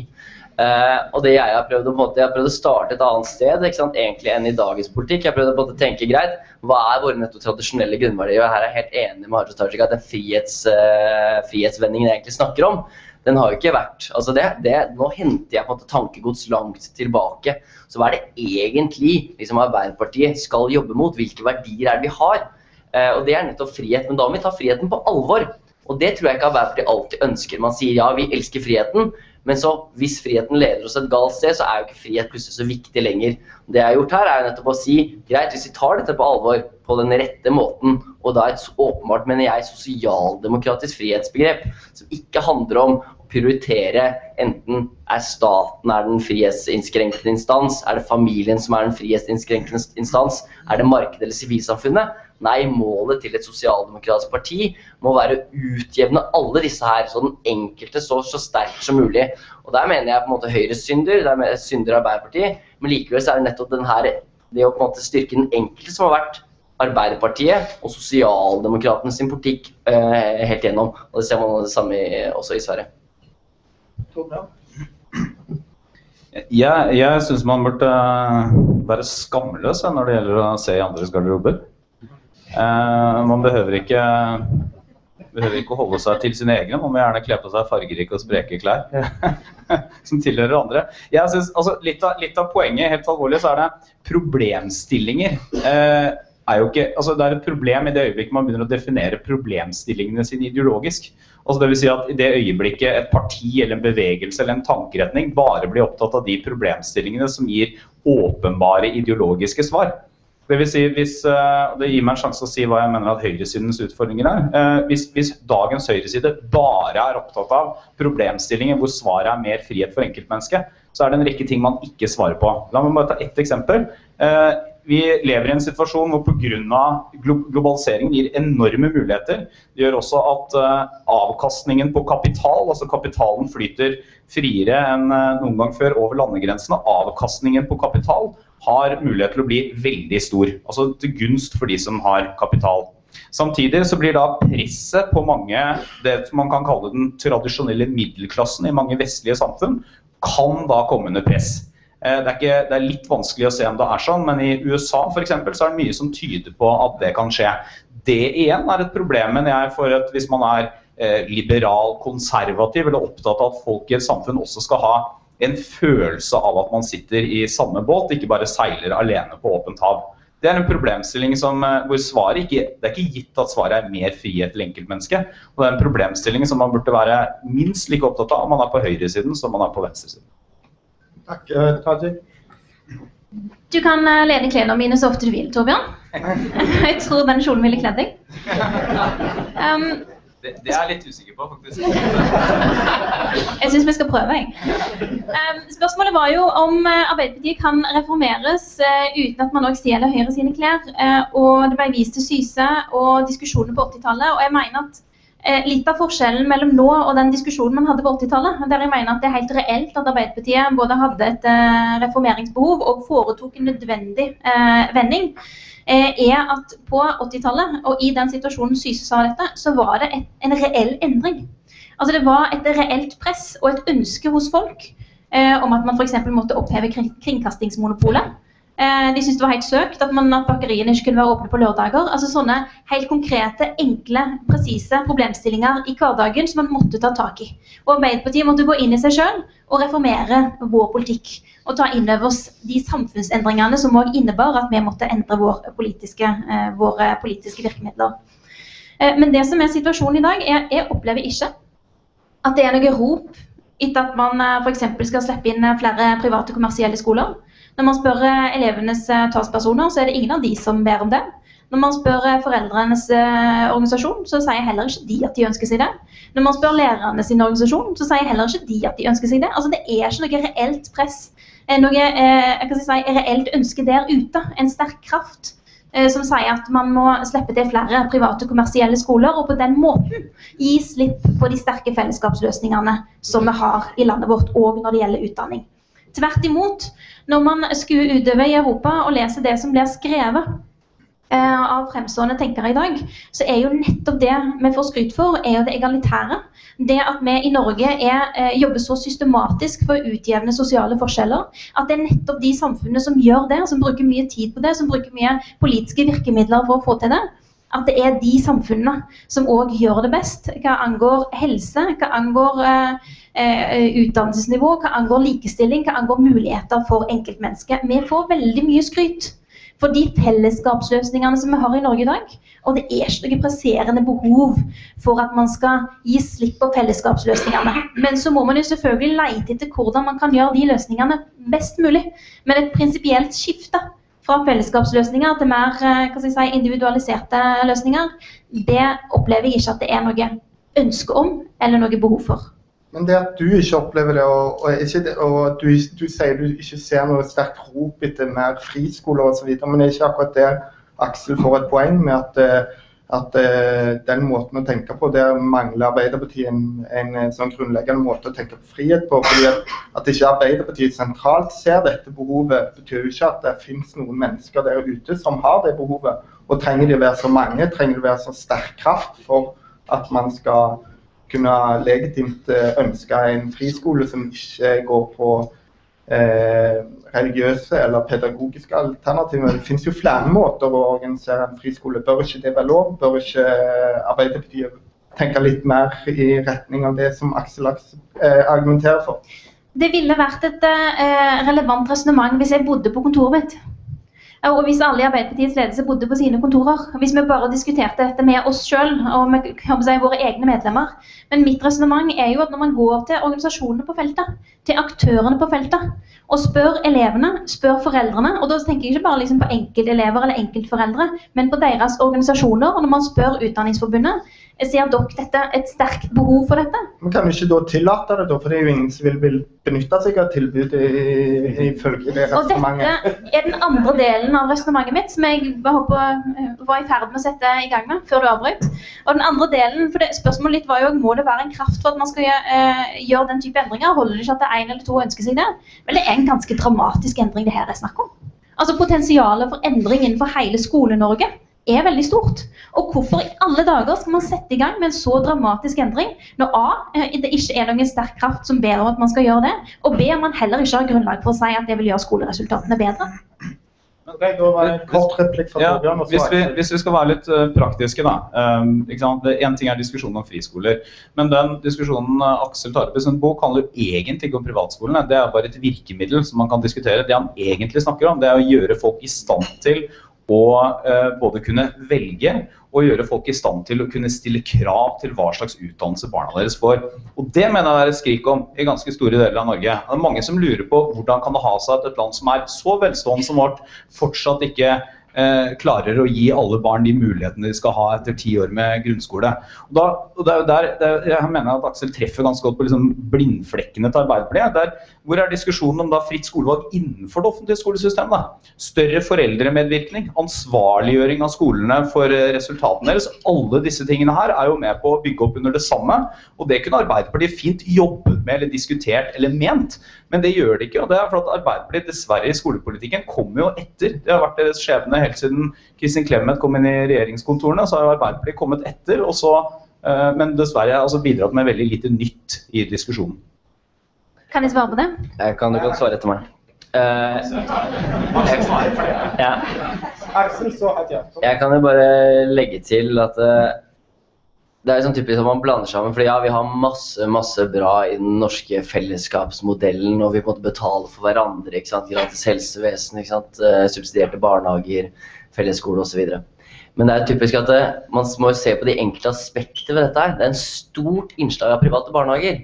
Og det er jo ikke et mål for Arbeiderpartiet, eller er det det, at man skal kollektivisere dette her, så man får en felles barnehage.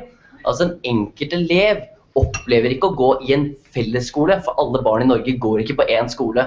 De går på ulike skoler, ikke sant? og de opplever hver sin situasjon. Så det man må si, det man må greie å argumentere for fra Arbeiderpartiet, og det er helt åpen for at man kan gjøre, det man si er det å slippe til private alternativer, det at noen kan gå på skoler som ikke er eid av kommunen, det vil ha så store ringvirkninger, negative skadevirkninger, på de som går i den offentlige skolen.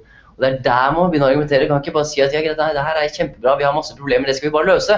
Altså, Vi må se på dynamikken i systemet. Så jeg har bare lyst til å knytte én liten kommentar til, eh, til uh, Røe Isaksen også. Han sier ofte sånn vi har noen grunnleggende verdier som er veldig viktige, og det er frihet, f.eks. av frihet enkeltmenneske. Men i denne konkrete situasjonen så passer det ikke. Da må vi ta andre hensyn. Og Det er klart at det, det høres veldig veldig fint ut, men da mener jeg at det er en svakhet ved den grunnleggende ideologien han jobber med. og Det er jo derfor han er liberal konservativ. Det er derfor han ikke har fått liberal, liberalismen sin gjennom. Men det jeg vil si da, er at hvis du virkelig mener at frihet er et mål, hvis frihet er liksom det som vi er, er glad i, så er det jo nettopp noe som maksimeres. Og det kan ha et negativt frihetsbegrep som nettopp betyr fravær av staten. Men derimot frihet er målet, at folk skal selvbestemme sitt liv. Så kan faktisk staten spille en rolle i å både maksimere den, men også å fordele den friheten. Og Det er der på en måte sosialdemokratiet kommer inn, og jeg mener da har et mye mer troverdig frihetsbegrep. Så man ikke trenger så mange Ja, her hadde det vært bra, men vi må ta disse praktiske hensyn. Tadik, du først, men Torbjørn, du må forsvare et etterpå. Kort, begge to. Vi kommer bare til å diskutere oss imellom. Dere slipper aldri til igjen etterpå nå. Eh, altså igjen, Vi er jo for private skoler. Altså Vi er for de private skolene som utgjør et, eh, et pedagogisk alternativ. Eh, vi er åpne for eh, de skolene som utgjør eh, hva jeg si, som har et religiøst utgangspunkt, selv om vi også ser eh, at de kan ha kritiske sider ved seg.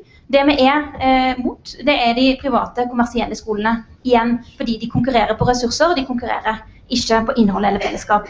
Så sier eh, Torbjørn at det, eh, man eh, altså, eh, i Arbeiderpartiet ikke diskuterer nok hvordan man kan involvere foreldrene, hvordan man kan skape den medvirkningen. Det er jeg ikke enig. Jeg mener at Det er et av de områdene der vi må bli bedre. Det er, har avgjørende betydning at eh, foreldrene er involvert i, eh, sko eh, i elevene sin skolehverdag, at de er involvert i leksene til ungene sine, at de er involvert i hva som skjer på skolen. og Der mener jeg at vi må bli bedre. Eh, og det, altså jeg, tar, jeg, tar gjerne imot flere gode forslag på det feltet. Men når eh, argumentet liksom, for eh, private skoler er foreldreinvolvering, altså, det er jeg veldig kritisk til. For Det jeg, det argumentet bærer ikke helt inn til mål. Både fordi jeg mener at man ikke kan i tilstrekkelig grad gi foreldrene den informasjonen de trenger for å kunne ta det informerte valget om hvilken skole som passer for deres unger, men òg fordi og her er jo litt av eh, kjernen i forskjellen mellom oss og Høyre. Det er at jeg mener at vår kunnskapspolitikk må være kunnskapsbasert. Den kan ikke bare være et rent ideologisk forsvar for at eh, friheten for å velge gjør at det må være masse forskjellige private skoler i landet vårt. OECD skriver i eh, sin rapport fra 2007 eh, at eh, og den, Jeg tror den heter 'Equity in Education'. Eh, der, eh, altså de sier jo ikke for eller mot privatskoler, men det de sier er at når du kobler stykkprisfinansiering med rangering av skoler, altså en del av de virkemidlene man trenger for å kunne ta det såkalt informerte valget, eh, og at det skal ha betydning for, for skolen, de virkemidlene der, det fører til, og nå siterer jeg, en ond, nedadgående spiral som det er vanskelig å komme seg ut av. Og det er den type kunnskap som, må som vi må legge til grunn når vi utvikler den norske skolen. Torbjørn, kort. Kort om mitt frihetsbegrep. Eh, det klarer du. Ja. Eh, jeg, jeg, mener at det er, det er eh, altså Ethvert frihetsbegrep må også ha det negative frihetsbegrepet i seg. Men jeg mener at det er ufullstendig. Eh, og jeg er opptatt av veldig mange andre ting enn frihet. Jeg er opptatt av orden, fellesskap, eh, kontinuitet, trygghet, forankring. Eh, det er en av de veldig viktige grunnene til at jeg mener at liberalismens frihetsbegrep er det er veldig logisk konsistent, men det er også veldig mangelfullt i møte med både menneske og samfunn. Takk. Godt svar. Da var det et spørsmål bak her.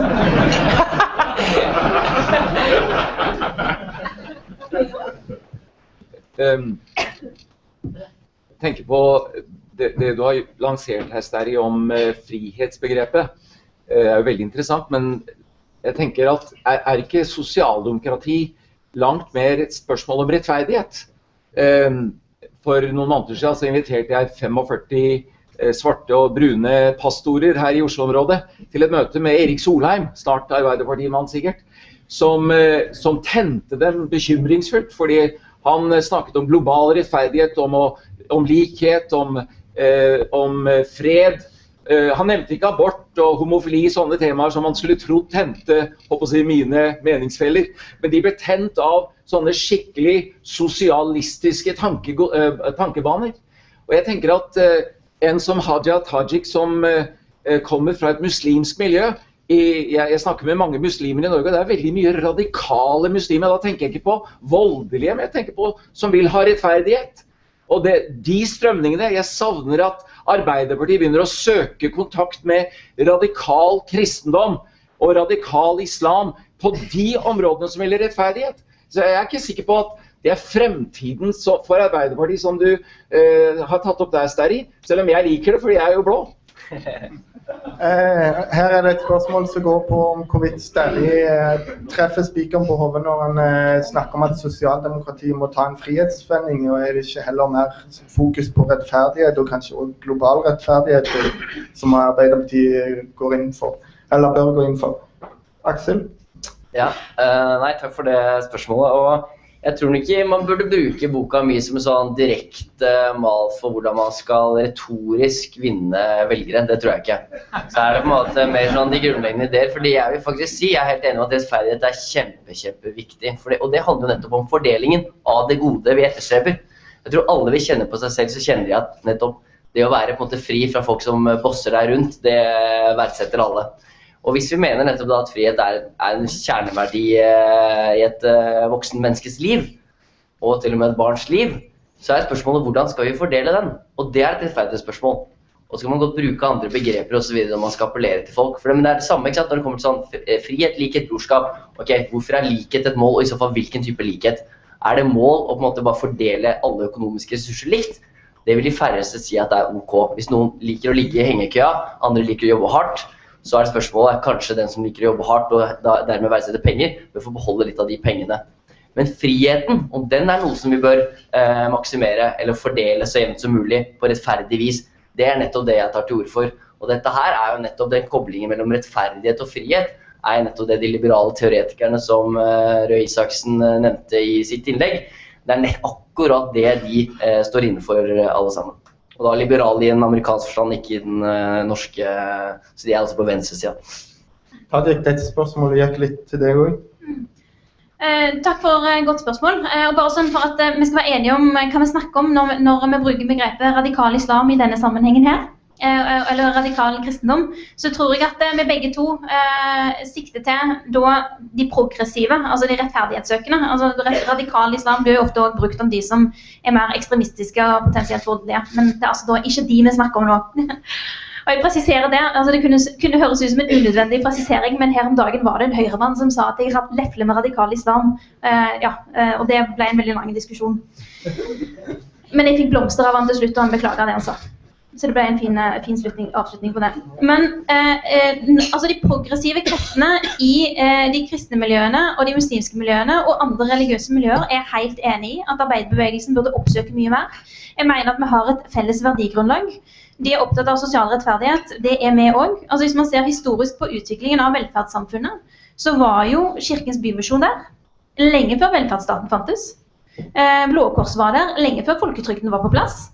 Eh, altså, det har vært sentrale, viktige, meningsbærende aktører eh, som har utvikla den velferdstenkningen som vi har i Norge i dag, eh, og som har, en, eh, har, et religiøst tilsnitt. Og i Norge er det først og fremst dette et kristent eh, tilsnitt.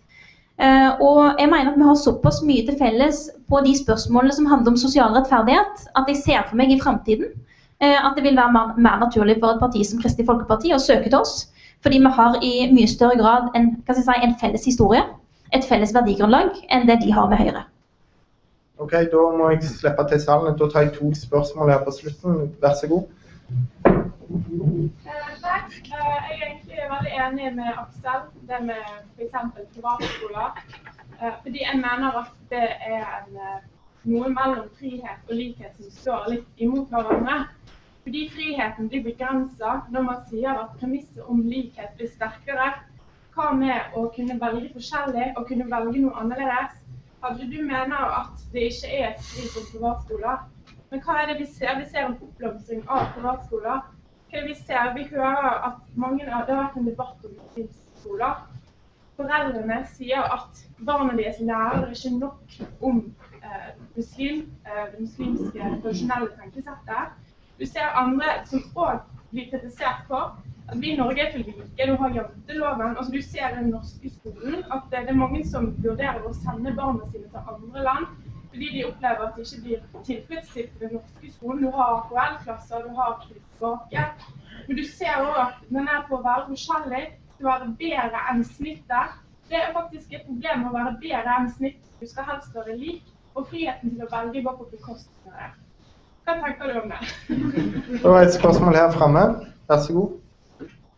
Kirsti Mettin fra Europabevegelsen. Jeg lurer på hva som er det sosialdemokratiske svaret på solidaritet i i den forstand vi da tenker på europeisk eh, solidaritet. Og så et kort spørsmål til. Kan borgerland gi den friheten som du snakker om i din bok? Ja, Da var det et spørsmål bak som handla om eh, likhet versus frihet på når det gjelder privatskoler, altså blir, eh, er, det, er det rett? Å Spørsmålet går først og fremst til Tajik. Setter du ikke likheten foran eh, friheten i disse spørsmålene, så er det et spørsmål her framme om eh, til Sterri om, eh, om, eh, om boka hans og, og, og hvorvidt eh, Arbeiderpartiet kan gi svar på solidaritetsutfordringer i Europa. Og et siste kort spørsmål er er borgerlønn en eh, god idé. Nå nærmer vi oss slutten, så da, eh, siden det ene spørsmålet gikk til Tajik, så begynner vi med deg, og så Torbjørn, og så får Aksel siste ordet. To minutter hver, vær så god. Jeg er ikke enig i at det er en oppblomstring av private skoler. Eh, eksempelet for med den muslimske skolen som man ser nå, er jo så vidt jeg skjønner det har vært flere forsøk eh, over, over, de siste årene. og Det er først nå man har lykkes med å få på beina det som kan være en, eh, en mulig eh, muslimsk skole. Eh, og eh, jeg er jo veldig kritisk til at man tar den type initiativ. Det er jo rom for det innenfor det lovverket vi har i dag. Men jeg mener jo, og at når man oppretter den type skoler, så vil jo de altså, muslimske skolene som man i dag oppretter, skille seg vesentlig fra de f.eks. kristne skolene som man har, for, har, hatt tradisjon for i Norge i, gjennom veldig mange år, og som eh, man ser at har utvikla et ganske bredt elevtilfang. Og Forskjellen vil jo være nettopp den at på de muslimske skolene vil ikke elevtilfanget være bredt. Det vil ikke være eh, et, et mangfold av bakgrunner blant de elevene.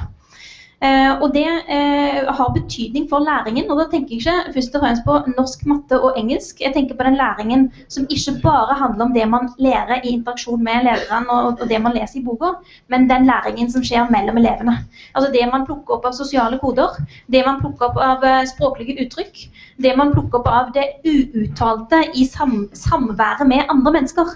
Og for å si Det sånn, det har hatt vanvittig mye å si for mine muligheter i mitt liv at jeg har hatt et bredt norsk nettverk. Jeg er alvorlig bekymra for at unger som da har Eh, en kulturbakgrunn som gjør at de ikke automatisk har med seg det etnisk norske nettverket og går i en skole der de heller ikke får det norske nettverket. Og Hvis det da er sånn at de går hjem og ikke er en del av organisasjonslivet, for det ser man det er tilfellet med veldig mange jenter med innvandrerbakgrunn, at de ikke er en aktiv del av organisasjonslivet, hva er da det etnisk norske fundamentet deres?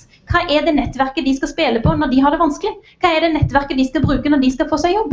Hva er det nettverket de skal lære den sosiale interaksjonen mellom folk på? Altså den sosiale interaksjonen som er det typisk norske. Det som det er vanskelig å sette ord på, men som det er viktig at man mestrer for å kunne ha sosial mobilitet. Sosial mobilitet handler jo ikke bare om å kunne eh, norsk, det handler om å kunne det norske.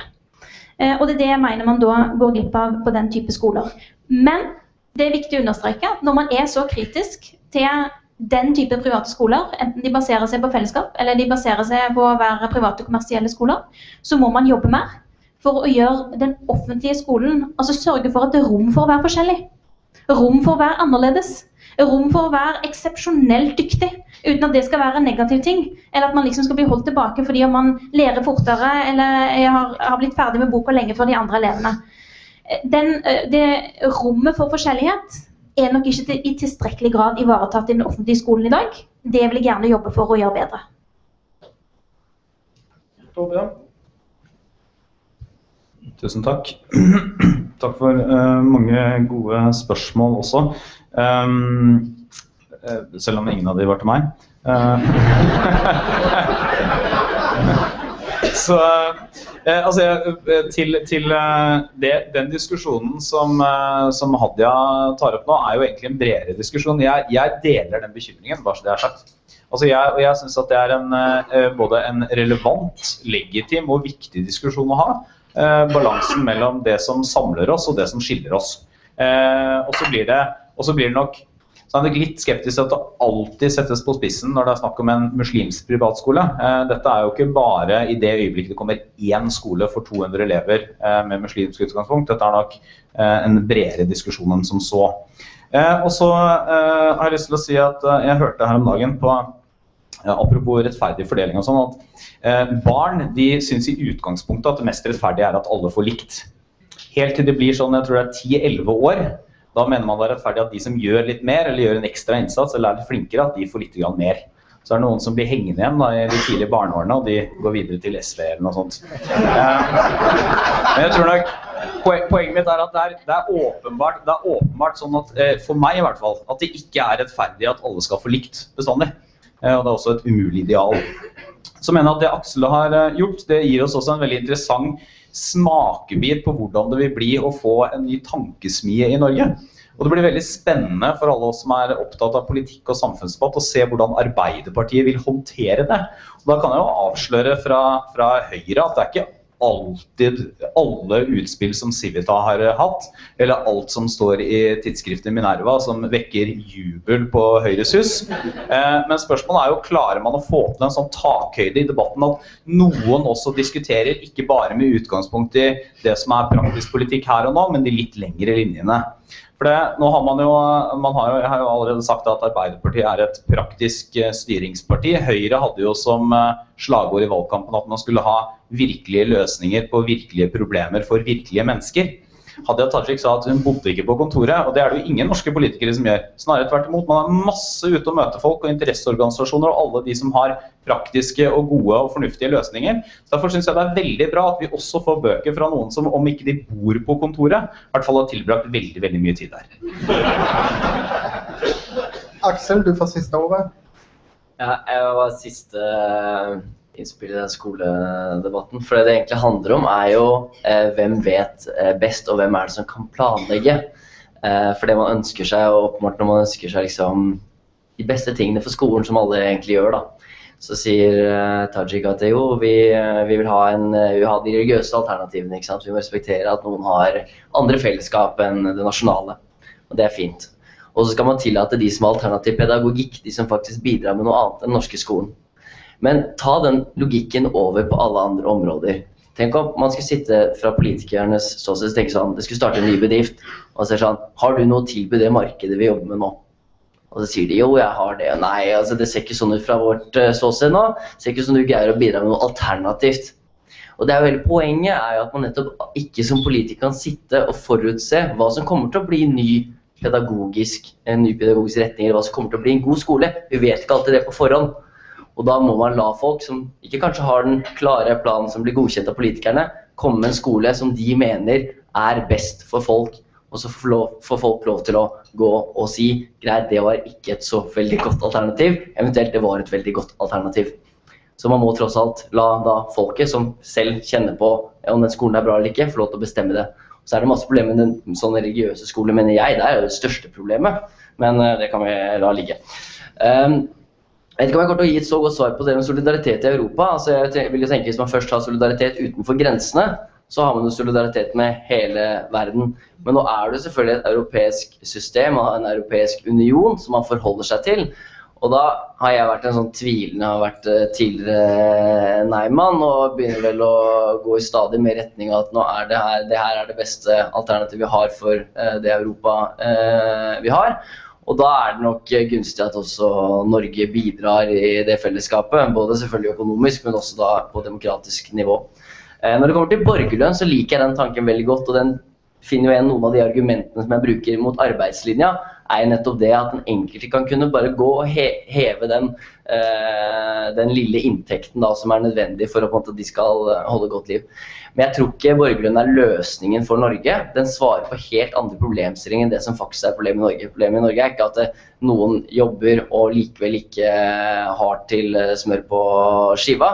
Men derimot kan man tenke seg noen løsninger, f.eks. en forelder, foreldrelønn, altså barnetrygd, en mer sjenerøs barnetrygd er en litt sånn borgerlønnsaktig tanke som vil være veldig, veldig, veldig god. Så nettopp da vil løfte mange over den, ja, den materielle fattigdomsgrensa, men det er også relevant. Du kan også tenke seg en sånn type borgerarv osv. Noen får jo et hus eller en leilighet av sine foreldre, andre får ikke det kan vi tenke oss en sånn type omfordeling også, som gir da folk mulighet til å håndtere midler som ikke alle har. Det er Sånn er det også mulig mener jeg å tenke, men derimot å gi folk 250 000 kroner uten at de skal gjøre noen ting, da mener jeg vi har gått for langt kanskje i å, å, dele ut penger. Ok, det var siste ordet. Eh. Følg med på studieplass.no. Der blir det annonsert frokoster framover, og meld dere på nyhetsbrev. Tusen takk til panelet. Dere får en uh, haug med Civita-bøker og vin. Tusen takk.